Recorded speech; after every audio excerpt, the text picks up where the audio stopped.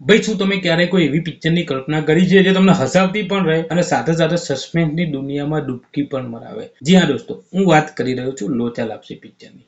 પિક્ચરનું નામ ભલે લોચા લાપસી હોય, પણ પિક્ચરમાં બિલકુલ લોચા લાપસી નથી. એટલે નામ સાંભળીને લોચા લાપસી પડશે એવું અંદાજો લગાવવો નહીં. ભાઈ, આજે તો સો રૂપિયાની ટિકિટ હતી, એટલે ઘણા બધા લોકો જોવા ગયા હતા પણ શું ટિકિટનો ભાવ વધારે હોય તો આ પિક્ચર જોવા જવાય કે નહીં, એના વિશે આપણે ચર્ચા કરીશું. ચલો, શરૂ કરીએ. તો ભાઈ, આ પિક્ચર સચિન બ્રહ્મર દ્વારા દિગ્દર્શિત અને મૌલિન પરમાર દ્વારા લખાયેલી પિક્ચર છે. લોચા લાપસી એટલે કે હાસ્ય અને થ્રિલર આ બંનેનું મિક્સણ એવું લાગી રહ્યું છે. વાત કરીએ પિક્ચરના મુખ્ય કલાકારો, તો ભાઈ ટ્રેલરમાં તમે જોયા જ છે, મલ્હારભાઈ ઠાકર ચિરાગ વોરા અને સ્વર્ગીય વૈભવી ઉપાધ્યાય. આ મેન કલાકાર છે. વાત કરીએ પિક્ચરની સ્ટોરીની તો ભાઈ ભાસ્કર જોજી એ એક એન્જિનિયર છે. એન્જિનિયર છે, કચ્છ ભુજ તરફ પોતાના કોઈ નવા પ્રોજેક્ટ માટે જતા હોય છે.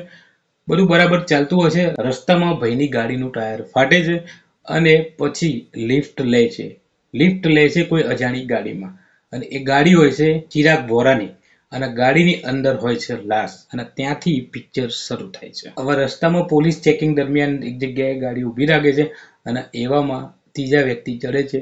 વૈભવી ઉપાધ્યાય જે હોય છે પોલીસના પત્ની. સ્ટોરીમાં હવે શું થશે એ જોવા માટે તમારે પિક્ચર જોવા જવું પડશે. આટલી વસ્તુ ટ્રેલરમાં બતાવી હતી. આનાથી વધારે હું કહીશ તો ઘણા લોકો મને કહે છે કે ભાઈ તમે સ્ટોરી રિવીલ કરી. સ્ટોરી રિવીલ કરવી નથી. પણ આ જે ટ્રેલરમાં બતાવ્યું હતું, એવી સ્ટોરી છે. વાત કરીએ પિક્ચરમાં કોમેડી તો કોમેડી બહુ વ્યવસ્થિત છે અને થ્રિલર પણ જબરજસ્ત છે. મલાર ઠાકર અને ચિરાગ વોરા, આ બંનેની જે જોડી છે, એ બહુ વ્યવસ્થિત પિક્ચરમાં જામી રહી છે. વન લાઇન પંચિંગ પણ બહુ વ્યવસ્થિત બતાવવામાં આવ્યા છે. મતલબ કે ભાઈ, આ પિક્ચર તમને હસાવતું રહેશે અને અંદર જે થ્રિલર છે, એક સ્ટોરી છે, એ તમને જકડી પણ રાખશે. લગભગ બે કલાકનું પિક્ચર છે, બે કલાકથી વધારે પિક્ચર નથી. ડાયરેક્ટરે પિક્ચરનું જે ડાયરેક્શન કર્યું છે, એકદમ સિમ્પલ કર્યું છે અને જોવાવાળાને કોઈ પણ જાતનો કંટાળો આવે નહીં એવી રીતે બનાવવામાં આવ્યું છે. ઘણા બધા પિક્ચરો લાંબા ખેંચીને આગળ ત્રણ ત્રણ કલાકના, પોણા ત્રણ કલાકના ખેંચી કાઢે છે, પણ પિક્ચર અહીંયા ટુ બી પ્રિસાઇઝ એક કલાકના બાવન ત્રેપન મિનિટનું છે. અને એટલામાં પિક્ચરની સ્ટોરી બહુ વ્યવસ્થિત રીતે બતાવવામાં આવી છે અને છેલ્લે જે સસ્પેન્સ બતાવવામાં આવ્યું છે, તો બહુ મસ્ત બતાવવામાં આવ્યું છે. હવે વાત કરીએ એક્ટિંગની તો ભાઈ મલ્હારભાઈની એક્ટિંગ વિશે બહુ કહેવાય નહીં. ચિરાગ ગોરાની એક્ટિંગ પણ જોરદાર છે સ્કેમ નાઇન્ટીન નાઇન્ટી ટુમાં તમે જોઈ હશે. અહીંયા પણ એક્ટિંગ સારી જ છે. વૈભવી ઉપાધ્યાયની એક્ટિંગ પણ બહુ વ્યવસ્થિત બતાવવામાં આવી છે. ચેતન ધનાનીની પણ એક્ટિંગ અંદર સારી બતાવવામાં આવી છે. એ પણ એમનો પણ રોલ સારો છે. પિક્ચરનું શૂટિંગ જેમ અમદાવાદથી વિરમગામ થઈને કચ્છ બાજુ જઈએ, ભુજ બાજુ. એ રસ્તા ઉપર ધાંગધ્રા એવી જગ્યાએ શૂટિંગ કરવામાં આવ્યું છે. લોકેશન બહુ વ્યવસ્થિત લેવામાં આવ્યું છે.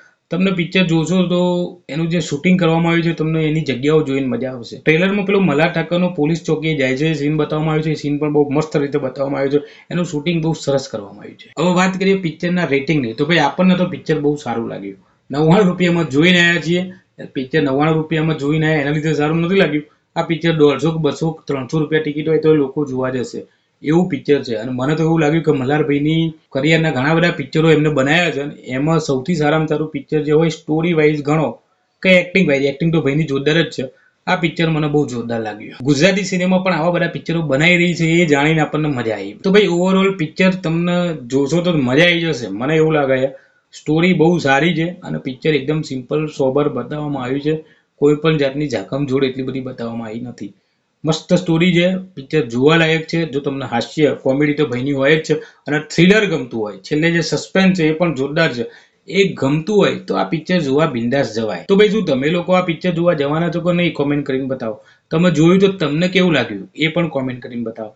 અને હા ભાઈ, વિડીયોમાં આટલા સુધી પહોંચાય તો વિડીયોને લાઇક કરીને જાઓ અને ચેનલમાં નવા હોય તો સબસ્ક્રાઇબ જરૂર કરીને જાઓ.